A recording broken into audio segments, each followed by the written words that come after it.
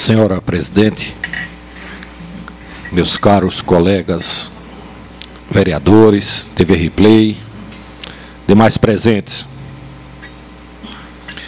é, faço uso dessa tribuna nesta noite, primeiro para parabenizar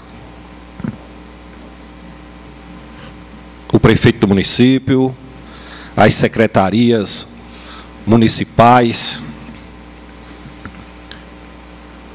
Primeiro, a Secretaria de Saúde,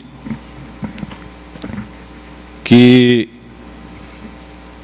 promoveu na última quinta-feira aquela caminhada Todos pela Vida, o Setembro Amarelo de combate ao suicídio. E culminou, aqui, quando terminou a passeata, com a inauguração do prédio, da reforma do prédio do CESP,